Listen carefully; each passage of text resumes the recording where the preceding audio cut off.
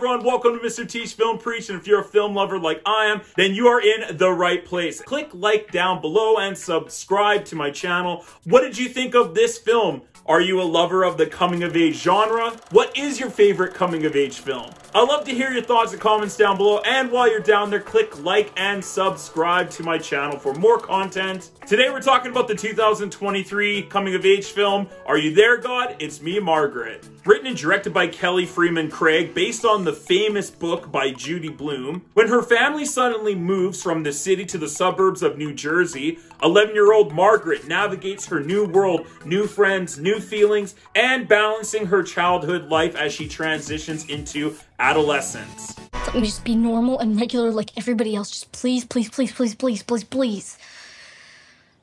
First of all, I've read Judy Blume's books before, not this one, but I've read Super Fudge, I've read Tales of Fourth Grade Nothing. So this was my first introduction to Are You There, God? It's Me, Margaret.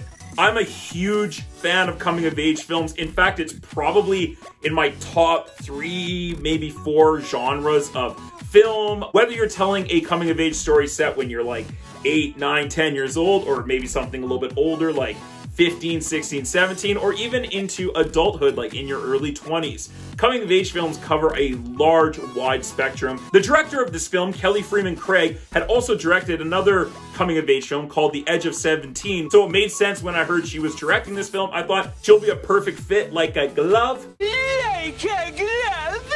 The story of an 11 year old girl growing up, kind of like a year in the life of Margaret and, and how she deals with her changes to her body, to her life, changing dynamics with certain relationships, with new friends, figuring out boys and romance and the first kiss, getting her first period and how that is such a big momentous moment as she becomes a teenager, and it's a film about searching for identity, who you are. She literally explores that in different religions as she has this complicated relationship with God and what that means to her and how she navigates that.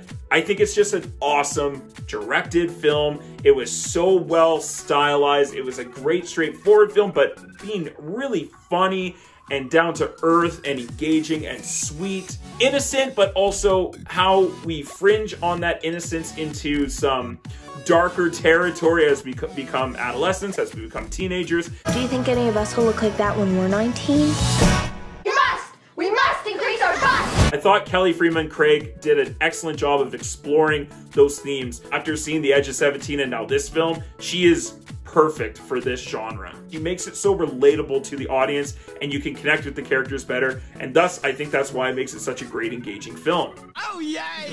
Speaking of the adults, the way that the mom and dad are written in this film and the grandma and the parents and just I love the way that they don't treat adults like dumb idiots. Like oftentimes when stories are told from a child's perspective, like this film is, adults are sort of these like over the top, stupid, bumbling characters. There's the dumb dad, there's the nagging mom. This film doesn't do that at all. It treats the adults with respect and that they're kind of these really fun, cool, hip parents and they're not just a bunch of squares. Kids don't think of their parents that way.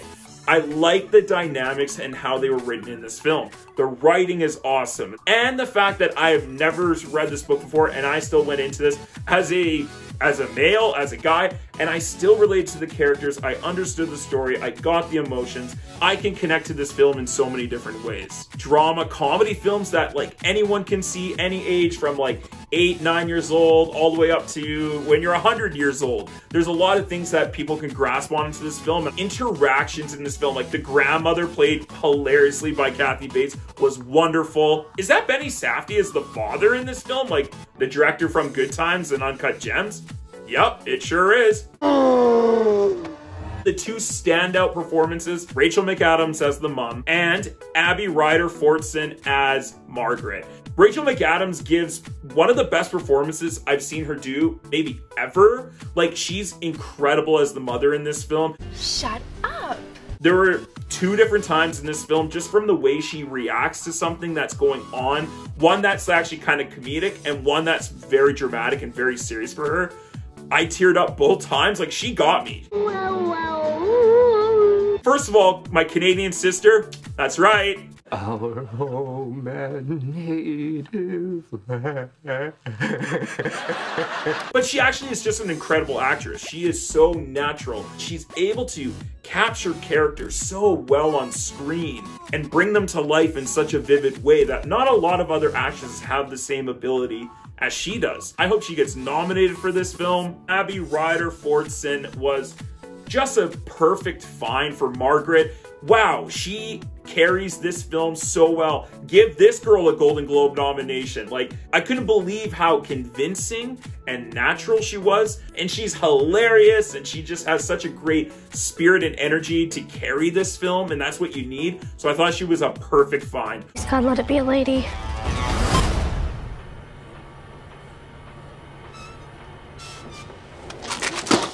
At times, the pacing was a bit up and down, and it does get into some serious things at certain points that really pull the energy of the film down at times. But really, that's my only complaint about this film. Like, I don't really have that much more. The runtime of this film was perfect, an hour and 51 minutes. It's got a lot of great, beautiful moments in it. It explores life and shows growing up, I think, in a very vivid way, and one that isn't often shown on screen, especially for women.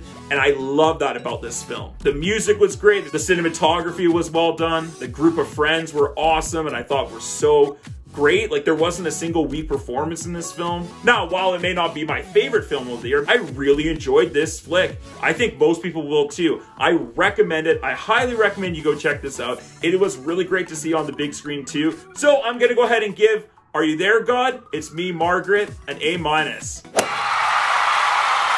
Yeah, what did you think of this film? Were you a fan of Are You There, God? It's Me, Margaret? Are you a fan of coming of age films? And which one is your favorite? I'd love to hear your thoughts and comments down below. And while you're down there, don't forget to click like and subscribe to my channel. Thank you for checking out Mr. Teach Film Preach. Come back and check out some other videos like How to Blow Up a Pipeline, the Super Mario Bros. movie. Have a great day, everyone. Stay focused, stay awesome, and as always, let's get taught.